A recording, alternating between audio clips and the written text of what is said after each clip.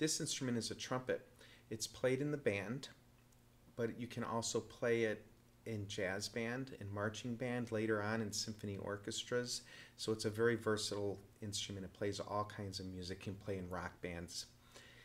The way that brass instruments work is you make the sound by your buzzing your lips, and it looks like this. I have to press my lips together and blow really hard, take a big breath.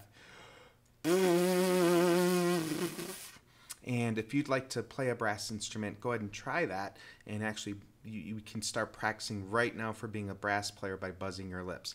If I buzz my lips high or low, I can change the sound. And that's just with my lips. Then with the trumpet mouthpiece, I can do the same thing. Ah.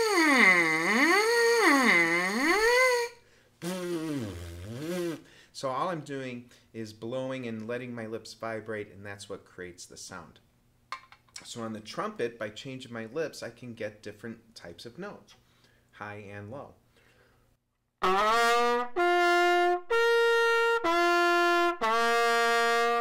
And again, you'll notice I'm not doing anything with uh, this hand. I'm not pressing any buttons down. I'm just going uh, high and low with my lips. Now, you might think there's only three buttons on a trumpet, so it can only make three notes.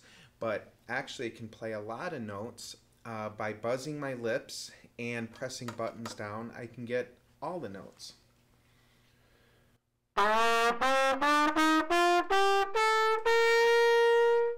Here's a uh, little song that you might recognize that's fun to play on the trumpet. This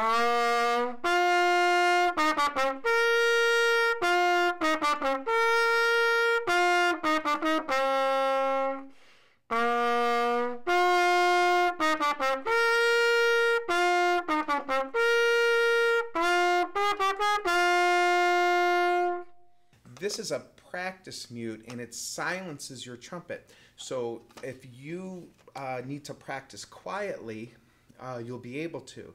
Uh, maybe you don't want to wake up your brother or sister in the next room, but you'd uh, still be able to practice.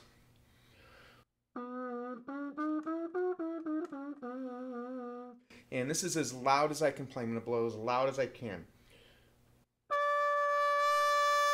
And without the mute, um, cover your ears. So just keep in mind, if you want to play the trumpet but you're worried that it's too loud when you're practicing at uh, home, uh, they do make a practice mute and it's very useful for quiet practice. So that's the trumpet. Even though I played the trumpet for you, there's actually a lot of people that play the trumpet way better than I do. And if you're interested in hearing some really good trumpet players, go ahead and click on these links.